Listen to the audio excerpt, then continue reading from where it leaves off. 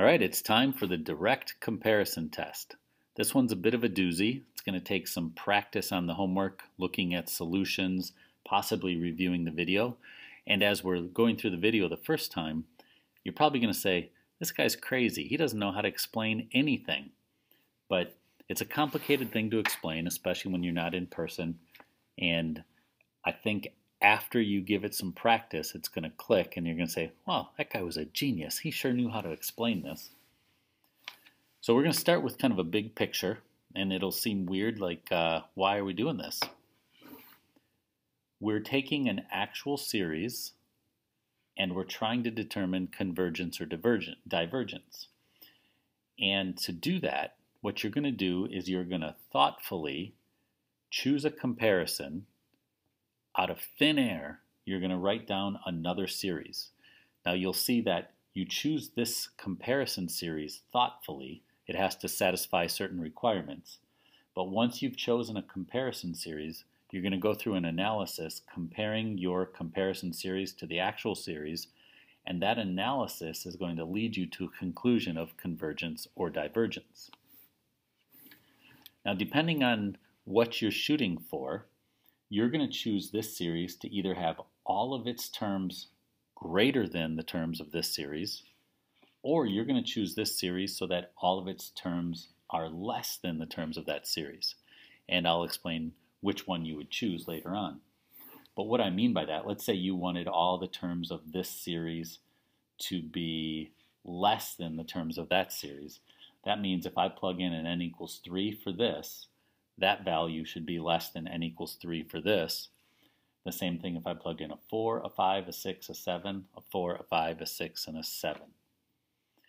And as we go through this, I'm going to use some notation. The actual series I'm going to call uh, A sub n, and the comparison series I'm going to call C sub n.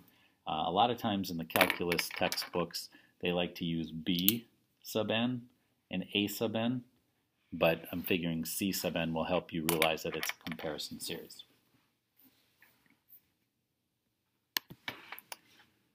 I'm going to try to paint this picture using a graphic that's not totally filled in yet.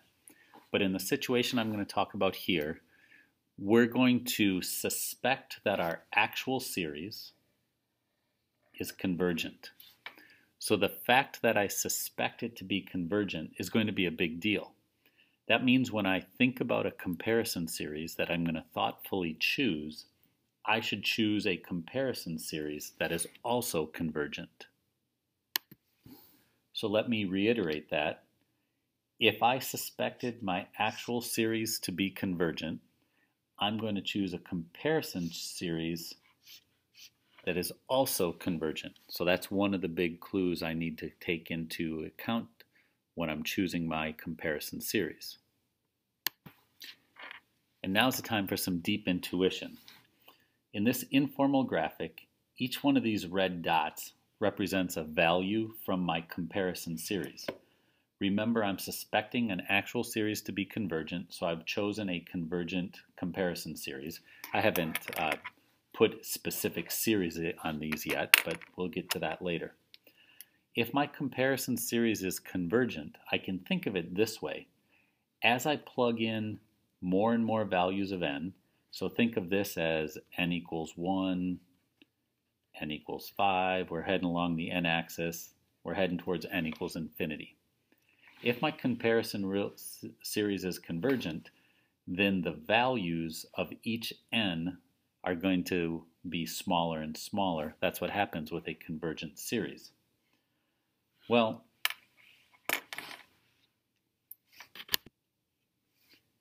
you recall from the beginning of the video that I'm also going to be choosing my comparison series so that all of its terms are either greater than or less than the terms of the actual series. So in the case I'm looking at right here,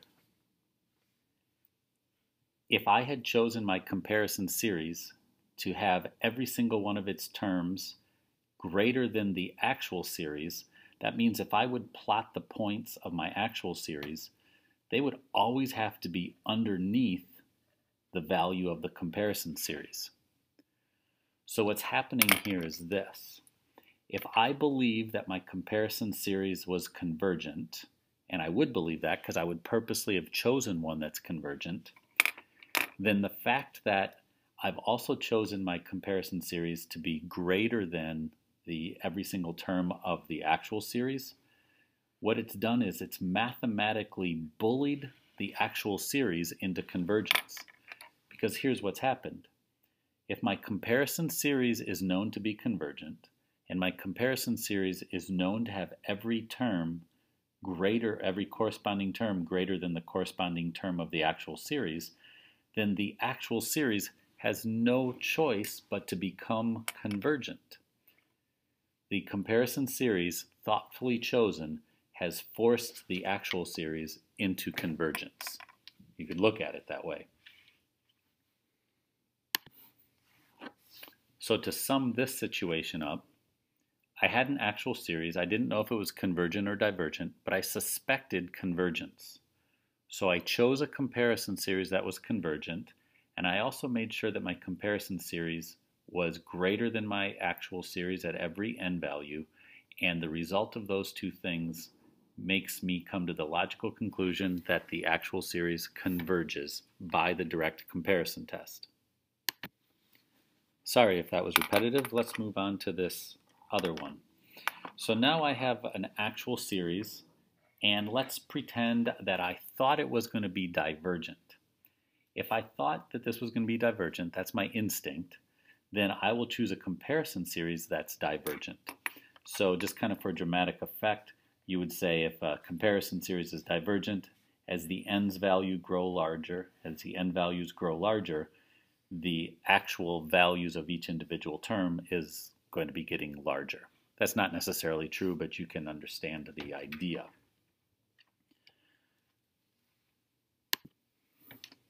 Now, be, because I suspected divergence, I chose a divergent comparison series, and I should also choose my comparison series so that every single term of the comparison series was actually less than the terms of the corresponding terms of the actual series. That means in a case like this, the actual series would have had its values above the comparison series. And so the same phenomenon is happening. If I've chosen a divergent comparison series, and I've chosen it so that I'm positive that the individual terms are less than the actual series, then I kind of have this mathematical bullying effect where the actual series has no choice but to be kind of penned into a divergence. So I'll try to summarize that in words here. If my comparison series is convergent, then my actual series must be convergent as long as the comparison series always has a greater value for corresponding n's than the actual series. And you can read to see the same type of logic going on here in the divergent scenario. And I put a little asterisk as long as the corresponding terms are greater than or less than relationship with the asterisk.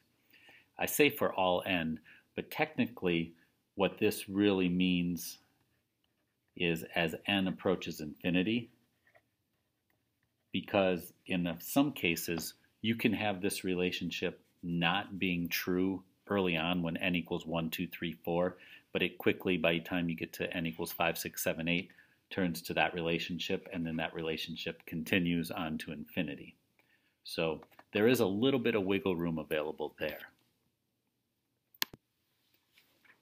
Very soon we'll be doing some examples, but when I go through these examples, I'm going to be looking for a comparison series, and some of the things I'm going to think about are do I suspect convergence or divergence?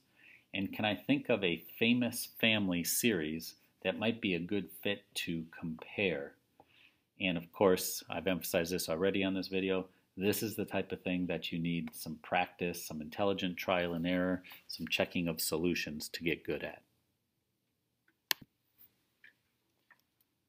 Here's my actual series, and I have to go about thinking about a comparison series. Um, well, I kind of say, hey, this thing looks a little bit like that thing, a geometric series. Um, I also look at this and I say, okay, the numerator seems like it's larger than the denominator, and it seems like it's going to always stay larger than the denominator. So I have a gut instinct of divergence.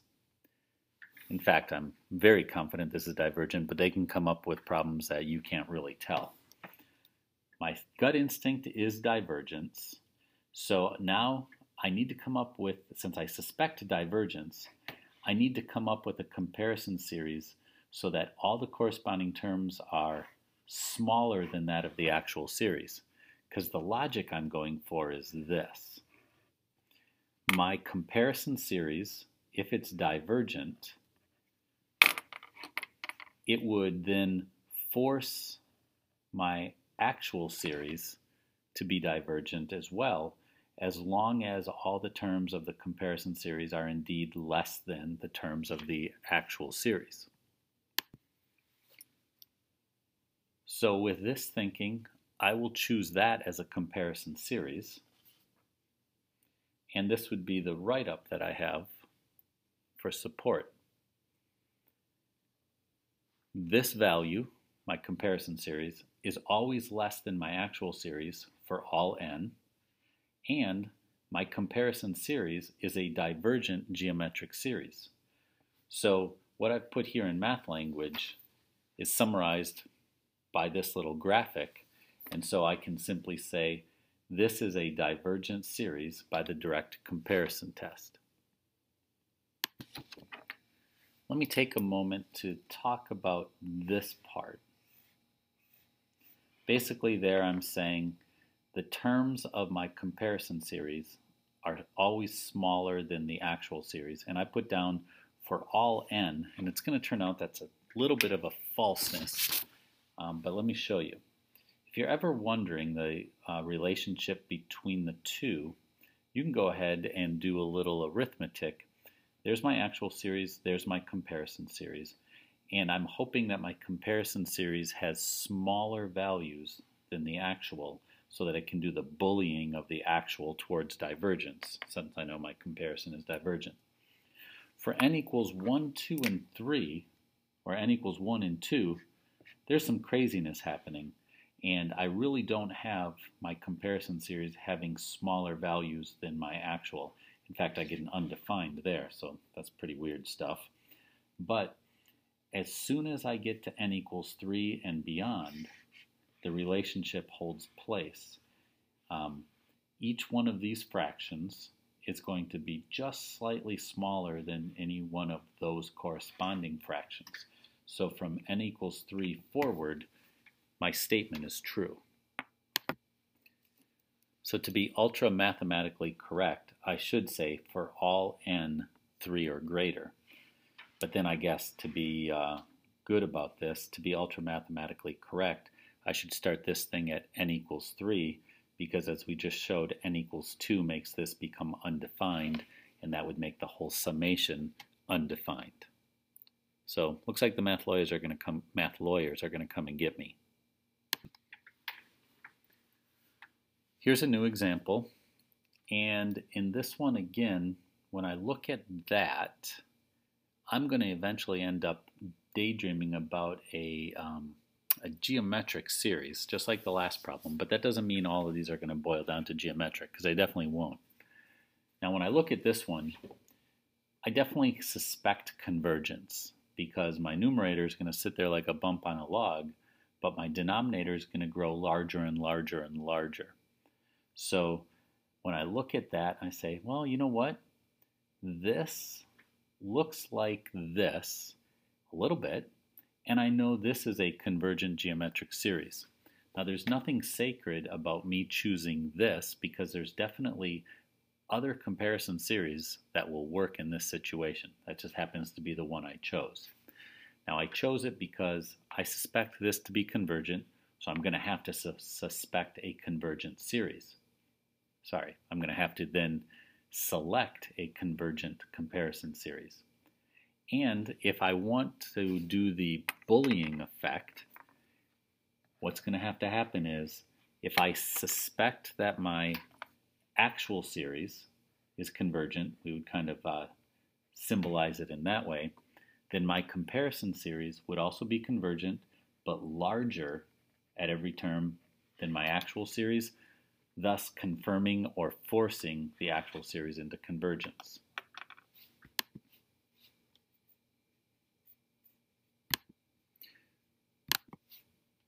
In this case, I won't have to do the math, but I'm certainly welcome to. I can always tell that this is slightly smaller than this because everything's the same in the numerator and the denominator has a 2 to the n power. This is a 2 to the n power. But for this one, the actual series, I always have a, one, a unit of extra value in the denominator, making this slightly smaller all the time, or in other words, making this be slightly greater, my comparison series being slightly greater. So I've satisfied the two components that help with my suspicion about the convergent nature of that. And because I'm able to satisfy those, I can now say this is a convergent series by the direct comparison test. In this case, I'm going to show you a selection for a comparison series with good intentions gone bad. I've got this. Um, boy, I don't know. Would I uh, suspect convergence or divergence? I might kind of daydream about the harmonic series, which has an exponent of 1 on the n in the denominator, and this has an exponent of n equals 1 half, which makes it a little weaker than the harmonic series, and the harmonic series is divergent. So I might look at this situation and say, I suspect divergence, and then you know what? I'm going to use this for my comparison series, which is really that, which I know to be a divergent p-series. All right, it all seems like it's coming together. I suspect divergence. I choose a famous series, which is a divergent p-series. Graphically, what I would have is an actual series that I suspect to be divergent, which is bolstered by a comparison series that I know to be divergent. But here's the flaw in this setup. For this situation to work, I have to know that my comparison series at every or corresponding terms has a lesser value than this, but unfortunately that's not the case because my actual series always has 10 more units of value in the denominator than my comparison series, making my actual series always be smaller. So if I know my comparison series is divergent, we're representing it that way, but I don't have a guarantee that my actual series has each term being above the comparison series. That means it actually could be the case that my actual series is converging. Because without the guarantee that the comparison series is always less than the actual series, this sort of behavior is going to could happen, which means I don't have a guarantee of my conclusion of divergence there.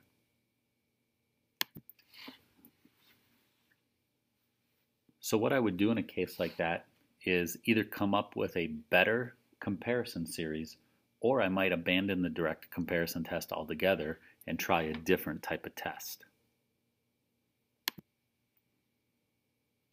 Okay, we've got one final example. I've got an actual series and I'm already going to choose this comparison series and let me explain why. I suspect this to be divergent and you know, maybe I have a good reason for that, maybe I don't. That's the hard part about the direct comparison test. You can oftentimes go down a dead end path. But I'm just thinking divergent because it kind of looks like the uh, harmonic series to me. So it'd be pretty good comparison to try because I know the harmonic series is divergent. If this thing is divergent, and if this thing is at every corresponding term less than the value of that, then that would force me into a conclusion of divergence for that. And we end up with one of those cases again where if I would take the time to write out the comparison of these, for small n's, n equals 1, n equals 2, then I would not have this proper relationship. But as soon as I get to n equals 3 and above, I really do have this value being greater than this value, which means my comparison series, which is divergent for corresponding terms, is less than the value of this, forcing this to also be divergent. So then I can say I've got a divergent series by the comparison by the direct comparison test. Okay, there's a lot going on here and it's going to take some practice. Hopefully I was able to get the point across. I don't know how redundant it was, but we're done with it. And now we're on to practice and questions. See you later.